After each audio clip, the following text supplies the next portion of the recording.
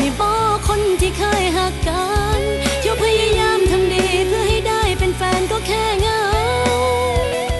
เฮสนั่นลั่นทุ่งพรุ่งนี้ห้ามพลาดเปิดเวทีรับหมอลำซิ่งสาวเน็ตไอดอลกิ๊กรุ่งนภาที่มาพร้อมกับซิงเกิลใหม่ล่าสุดสั่งว่า ปล่อยเพลงแค่เดือนเดียวยอดวิวทะลุไปกว่า 6 ล้านวิว พร้อมปะทะพิธีกรคู่หูข้าวฟางจันตรู จะสนุกสนานขนาดไหนห้ามพลาด10นาฬิกาทางช่อง 9 m c o t HD หมายเลข 30 ค่ะ